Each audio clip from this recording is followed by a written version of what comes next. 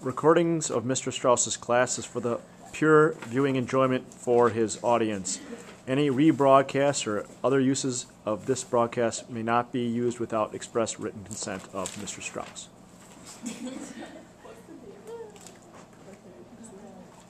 Um, Was there an So- issue with that before, Mr. Chair?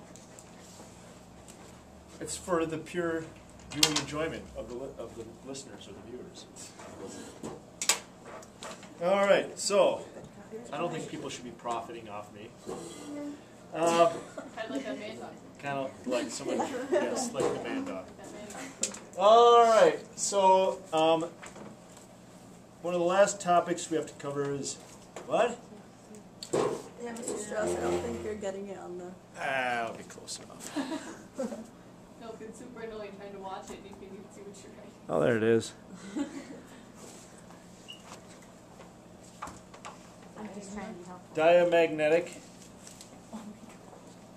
Diagmagnetic.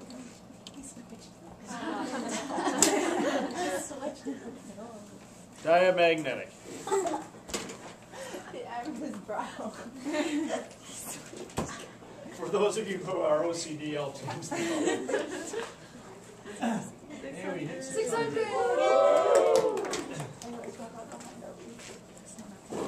So, die I need to catch up on my chart. means two in Latin, right?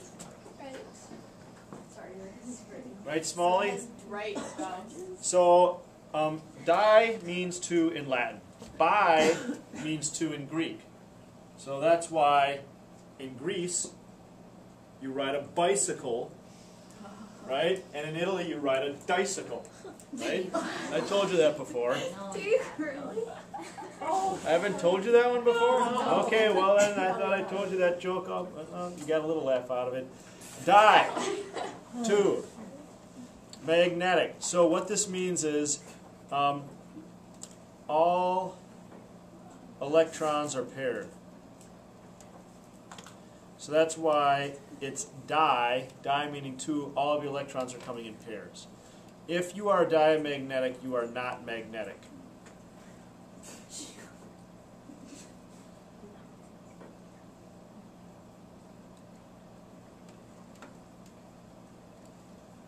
For example, magnesium. Magnesium is neon 3s2. So magnesium would not be magnetic. It's not going to be attracted by a magnet.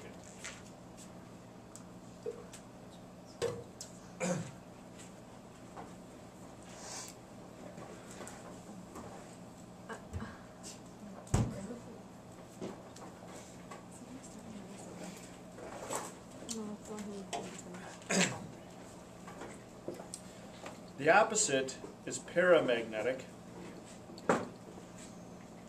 This is why it gets confusing, because it has the prefix para, but it's the diamagnetic which is paired up. So I, I know that kind of throws people. Sometimes people get confused because they see the word para in front, and that has nothing to do with being paired. Okay? Paired is P A I R, whereas para, Oh, no. You always got to keep your pocket Latin dictionary close at hand in case you have to look something up. The only problem is I don't know if para is Greek or Latin. So you get your Greek one too. Uh, para. I always thought para meant through. in Espanol. Is that what it means in Espanol? No, more means Yeah, through. four is through. Or? Para is four. Para and four have many different we're really on that tab. I'm gonna avoid avoid as much as possible. I think that is gonna die. See if we have it over here. Carrie's like, This is, this is Spanish. She's I wasn't prepared. Oh, here we go. With or on. It is Latin. Para meaning with or on. So that makes more sense now. I mean, with magnetic or on magnetic. This means you have at least one unpaired electron. And therefore it will be magnetic. It will be attracted by a magnet. So paired has to be in the same orbital, correct? No, it doesn't. So how Um, can you have more than one unpaired electron? well, I'll give you an example. When you're trying to decide if it's para or dia, you have to do the orbital diagram. You cannot just look at the electron configuration. Like with oxygen, 1s2, 2s2, 2p4. If you just looked at the configuration, you might think that everybody's paired up, right? There's a pair, there's a pair, and I have two pairs right there.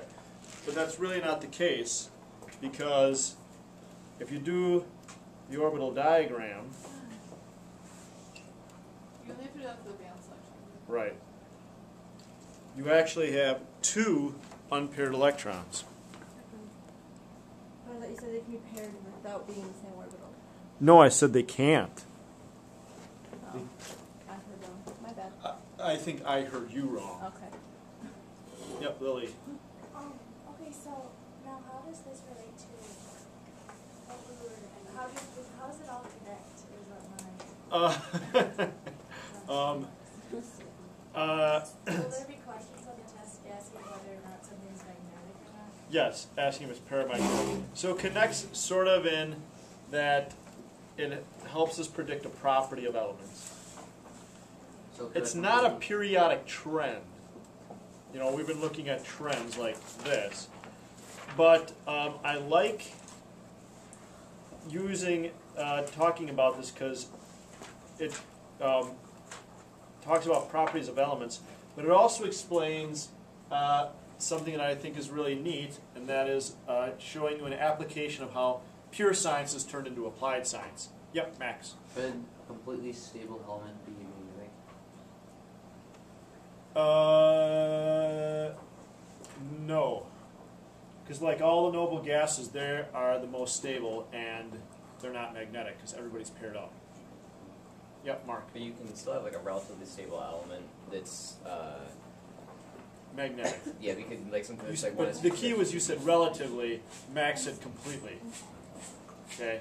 If it's completely stable, that means everybody's paired up and it's not reacting. But So if it was missing one out of like two P six level or something, had like two P five, like that one electron magnetic. Yeah. All right. So um, I like uh, to talk about this because um, oxygen. Oh, I forgot to say that's oxygen. It will be magnetic. It has two unpaired electrons. It will be magnetic. I'll show you a little demonstration of this